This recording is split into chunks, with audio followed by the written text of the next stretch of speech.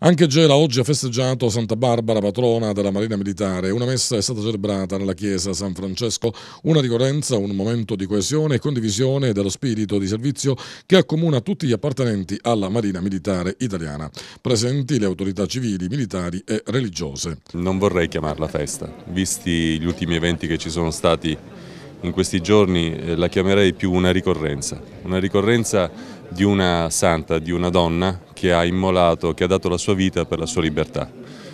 E vorrei paragonare a questo grande sacrificio che ha fatto Santa Barbara col sacrificio di tutte le centinaia di persone che stanno morendo per la nostra libertà, per la libertà e per il libero arbitrio che dobbiamo fare valere in questi giorni particolari. Alla funzione religiosa erano presenti tra gli altri gli ex marinai. Durante l'iniziativa di oggi, ancora una volta, attraverso uno striscione collocato dinanzi alla chiesa, è stata chiesta la liberazione dei due marò reclusi in India. Come ho fatto l'anno scorso e lo ribadisco ancora quest'anno, anche se purtroppo noto eh, personalmente che i, i, media non ne parlano eh, molto spesso, anche per eh, gli eventi di cui abbiamo parlato poc'anzi, però Girone e La Torre ricordiamoci sempre che sono lontani dalle loro famiglie. Al termine della cerimonia religiosa i partecipanti si sono recati presso locali della Capitaneria di Porto per assistere alla benedizione di un piazzale antistante la sede delle unità navali della Guardia Costiera